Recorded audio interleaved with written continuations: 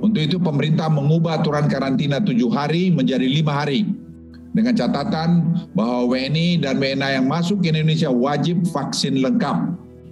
Bagi WNI yang baru melaksanakan vaksinasi dosis pertama, tetap harus menjalani karantina tujuh hari. Kebijakan ini diperlakukan mengingat sebagian besar varian PPLN adalah Omikron dan berbagai riset telah menunjukkan bahwa inkubasi dari varian ini berada di sekitar tiga hari.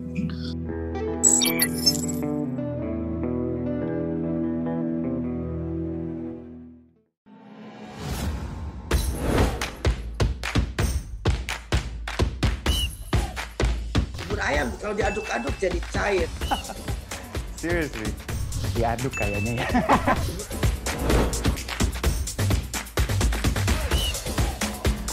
Mau perlu luar negeri gimana ya? Ini, ini demi kemajuan bangsa Indonesia.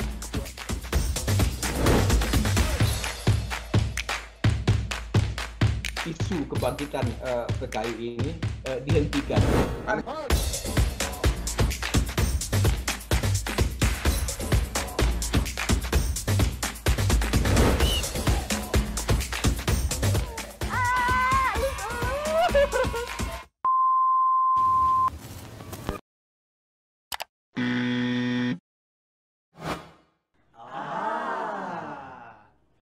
Medcom.id, a part of Media Group News.